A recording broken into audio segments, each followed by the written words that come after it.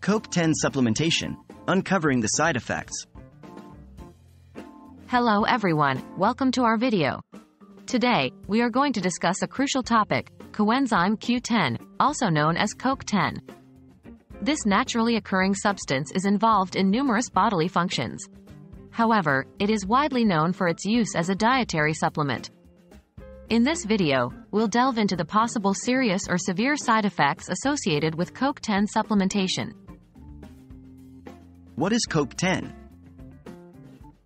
Before we jump into the potential side effects, let's understand what CoQ10 actually is. CoQ10 is a vitamin-like substance found throughout the body, but especially in the heart, liver, kidney, and pancreas. It's used by cells to produce energy needed for cell growth and maintenance. It also functions as an antioxidant, which protects the body from damage caused by harmful molecules. Common side effects of CoQ10 supplementation. Now, as we move on to CoQ10 supplementation, it is generally considered safe with few side effects. However, some common side effects include stomach upset, loss of appetite, nausea, vomiting, and diarrhea. Some people might also experience skin rashes. Serious side effects of CoQ10 supplementation.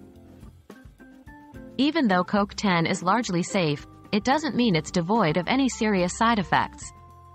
While rare, some people may experience allergic reactions that may include difficulty in breathing, closing of the throat, swelling of the lips, tongue, or face. Another serious side effect could be a significant drop in blood pressure. People with low blood pressure or those on blood pressure medications should exercise caution. Who should avoid CoQ10 supplementation?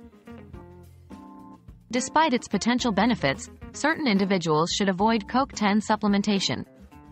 This includes pregnant or breastfeeding women, due to a lack of safety information. Also, if you're taking blood thinners or chemotherapy medications, or if you're scheduled for surgery, it's best to consult your doctor before starting on CoQ10. It may interact with these medications or conditions, leading to serious implications. While CoQ10 supplementation can be beneficial, it's important to remember that supplements are not a substitute for a balanced diet and a healthy lifestyle. Always consult with a healthcare professional before starting any new supplement regimen.